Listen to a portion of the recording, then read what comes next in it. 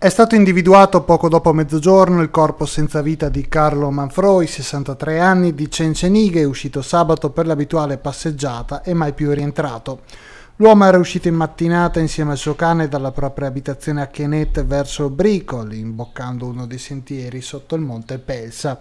Alle 13.30 il cane era ritornato a casa da solo, intorno alle 16 la moglie di Manfroi aveva chiamato i soccorsi.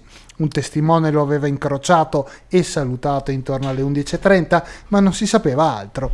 Sulle tracce del 63enne una settantina di persone tra vigili del fuoco, soccorso alpino, guardia di finanza, cani molecolari, protezione civile e associazione nazionale carabinieri.